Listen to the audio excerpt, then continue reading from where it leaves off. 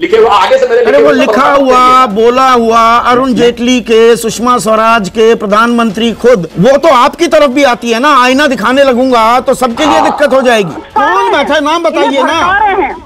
ये अपराजिता अगर किसानों का- का आंदोलन है किसानों के आंदोलन पहले भी होते थे आप विपक्ष में थी आप समर्थन नहीं देते थे क्या?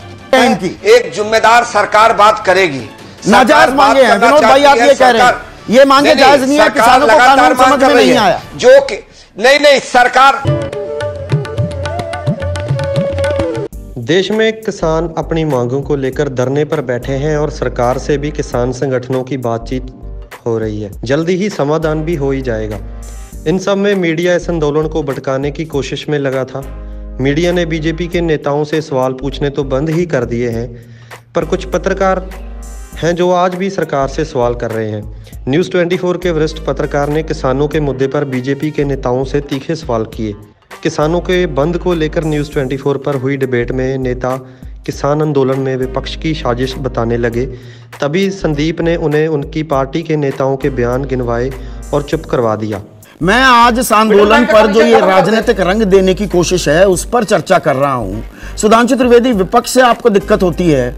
हरियाणा में आप जेजेपी के समर्थन से सरकार चला रहे हैं। जेजेपी के दस विधायकों में से सात किसानों के साथ खुलकर किसानों के समर्थन में आ गए। तो वो भी राजनीति कर रहे हैं क्या? देखिए मेरा कहना है हमारे समर्थन में हो या विरोध में हो। कोई सांसद हो या विधायक हो अपना जो भी विचार रखे पर मैंने गंभीर क्राइसिस ऑफ़ क्रेडिबिलिटी विश्वसनीयता का संकट राजनीति में बहुत गहरा गया है। लिखे हुआ आगे से मेरे अरे लिखे वो लिखा हुआ बोला हुआ अरुण जेटली के सुषमा स्वराज के प्रधानमंत्री खुद जब गुजरात के मुख्यमंत्री थे तत्कालीन प्रधानमंत्री मनमोहन सिंह को 2011 में जब वो working group on consumer affairs की अगुवाई कर रहे थे लिखा था कानूनी प्रावधान हो एमएसपी पर। वो तो आपकी तरफ़ भी आती है ना आईना दिखाने लगूँगा तो सबके लिए दिक्कत हो जाएगी। न्यूज़ 24 पर किसानों के मुद्दे पर हुई डिबेट में बीजेपी नेता किसानों को विपक्ष द्वारा उकसाए जाने को लेकर बात कर रही थी तभी संदीप ने अपने तीखे सवालों से उन्हें घेर लिया। तो कितने बहुत सारे राजनीतिक दलों के प्रतिनिधि हैं जो बात को समझना नहीं चाहते हैं? नहीं किसान ये ना ना ना ना ना तो- अपराजिता मुझे एक चीज़ बताइए। ये जो बॉर्डर पर किसान बैठे हैं ये किसान ही है कि ये कांग्रेस के नेता है विपक्षी दल के नेता हैं? देखिए इन्हें उकसाया गया है जो अच्छा, उकसाया गया है, ये इतने मासूम हैं, किसान नेताओं को कुछ समझ में नहीं आता, किसान- गैंग है। हाँ? देखिए हमारे किसान बंधु हमारे किसान बंधु कुछ हैं मैं मान रही हूँ कुछ हैं लेकिन इनके साथ कौन लोग बैठे हैं अगर आप ये देखें? कौन बैठा है बताइए ना मैं तो होके आया हूँ आप गई हैं? सिंगू बॉर्डर या टीकरी बॉर्डर या गाजीपुर बॉर्डर कौन बैठा है इनके साथ? राजनीतिक विभिन्न राजनीतिक दल के लोग बैठे हैं इन्हें उकसा कौन बैठा है? नाम बताइए ना। रहे हैं। ये अपराजिता अगर किसानों का- का आंदोलन है किसानों के आंदोलन पहले भी होते थे आप विपक्ष में थी आप समर्थन नहीं देते थे क्या? आप किसानों के आंदोलन को विपक्ष का आंदोलन बता बता रही है क्या?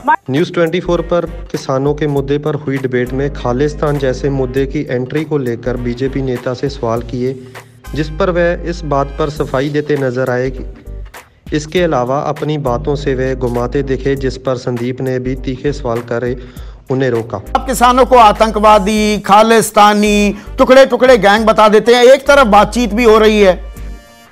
मतलब ये दोनों चीज़ें कैसे चल रही हैं साथ में? हाईजैक हो चुका है तो क्यों बात कर रहे हैं इनसे?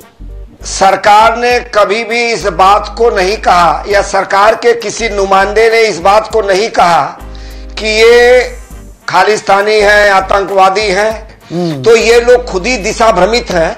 जहाँ तक बात नाजायज मांगे बात हैं इनकी। एक जिम्मेदार सरकार बात करेगी। सरकार नाजायज मांगे हैं। विनोद भाई आप ये कह रहे हैं। ये मांगे जायज़ नहीं है किसानों को कानून समझ में नहीं आया। जो कि नहीं नहीं सरकार सरकार संदीप संदीप जी संदीप जी इन लोग ये किसान नेता जो किसान की बात कर रहे हैं आज़ाद भारत में कभी भी इन्होंने कि एमएसपी को कानून बनाने की बात नहीं की।